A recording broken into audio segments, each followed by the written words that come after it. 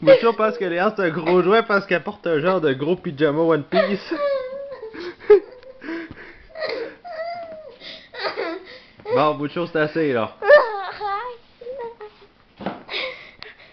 Arrête, arrête. Arrête. C'est pas un pyjama, c'est pas, c'est pas un jouet. Il pensait que t'étais un jouet. C'est la même. Ton pyjama, Léa, il a la même texture que tes jouets. Que ses jouets. Si, elle va dire ça, ben ouais, pas capable.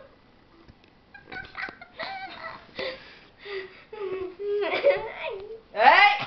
Bon, ça pas! Trop tannant. Ah! C'est fou! Va te courir après?